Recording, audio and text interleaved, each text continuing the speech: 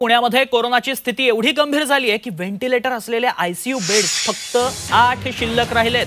पुण्यामध्ये रुग्णांना बेड उपलब्ध व्हावेत यासाठी खास वॉर रूम उभारण्यात आली आहे. तिथले फोन सारखे खणखणतायत कर्मचारी रात्रंदिवस काम करतायत. या सगळ्याचा परिणाम आता मोठ्या प्रमाणात होऊ लागलेला आहे आणि पुण्यात रुग्णसंख्या सातत्यानं वाढतीये. पुण्यातल्या वॉरूमचे फोन सतत खणखणतायत. पुण्यात कोरोनाची परिस्थिती आता पुन्हा एकदा गंभीर झालेली आहे. या सगळ्या परिस्थितीचा आढावा घेतला आमचे प्रतिनिधी अरुण मेहत्रे यांनी.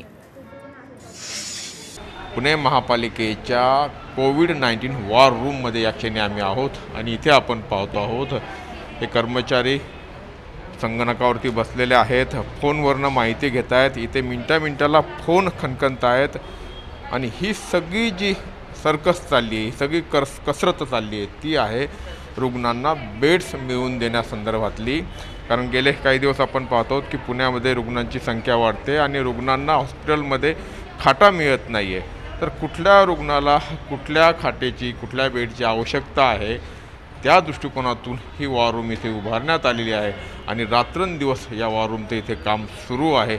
आपण कशा स्वरूपात हे काम सुरू आहे याची थोडी माहिती इथे अ, मॅडम काय स्वरूपाचं काम सुरू आहे? आपण इथे काय काय करतो आहोत? कुठले हे फॉर्म आपण भरून घेतो आहोत?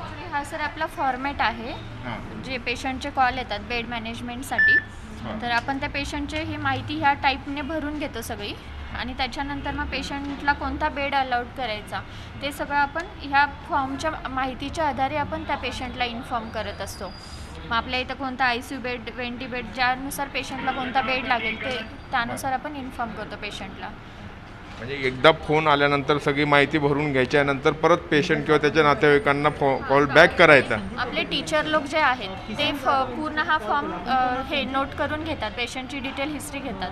परत ते आमच्याकडे डॉक्टरांच्याकडे फॉर्म देतात. मग आम्ही हे पेशंटचा फॉर्म रीड करतो. त्यानुसार परत एकदा पेशंटला कॉल करतो. आमच्या अ, हे आमच्याकडून जी काय माहिती ह- हवी आहे ती आपण त्यांना विचारून घेतो. मग त्यानुसार आपण त्यांना बेड अलॉट करतो. साधारणपणे त्यांना बेड मिळण्यामध्ये किती कालावधी जातो किंवा कसं आहे? Thirty minutes around. घरी ऑक्सिजनची मशीन आहे का चेक करायला? आणि त्यातनं त्यांचं समाधान होतं. काय स्वरूपाच्या प्रतिक्रिया येतात नंतर? ॲक्च्युली ज्या पेशंटला खूपच इमर्जन्सी असते ते खूपच एकदम धन्यवाद मॅडम म्हणजे ते मनापासून आभार मानत असतात. आत्ता हे सर देखील बोलत होते. तुम्ही आत्ता बोललात की मी पाच मिनिटात कळवतो कुठे बेड अवेलेबल आहे. मला सांगा की हे रात्रंदिवस काम सुरू आहे का? किती लोक तुम्ही काम करतात आणि कशा पद्धतीने काम करत? तुम्ही फोन वाटल्यास अधिक हां. काय होतं सर? ऑक्सिजन लेवल जी असते ती फार महत्त्वाची आहे ऑक्सिजन लेवलनुसार आपल्याला डिस्ट्रीब्यूट करता येतं. ऑक्सिजन लेवल नाईंटी फाईव्हच्या वरती असेल तर त्यांना आयसोलेशन बॅड द्यावं लागतं.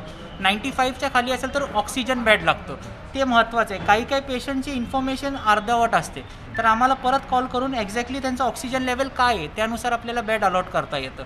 जर व्यवस्थित नसेल तर आपण त्यांना बेड एक्झॅक्टली मॅनेज नाही करू शक करून देऊ शकत. आता बेडची काय स्थिती आहे? अलॉटमेंट होतं आहे बऱ्यापैकी होते फक्त व्हेंटिलेटरच्या बेडचं आपल्याकडे हो.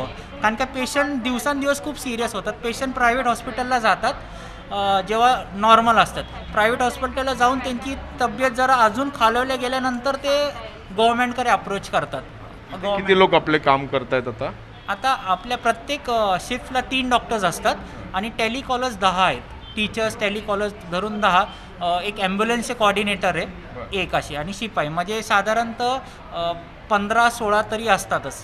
एका शिफ्टला असे तीन शिफ्ट असतात. Morning evening night twenty four by seven अशा स्वरूपात यांचं काम सुरू आहे. एका अर्थाने कोरोना विरोधातली ही लढाई आहे आणि त्याचाच भाग म्हणजे ही वॉर रूम आहे. व्हिडिओ जर्नलिस्ट नितीन सानवरसह अरुण मेहत्रे झी मीडिया पुणे. विठू माऊलीचा गजर. म्हणजे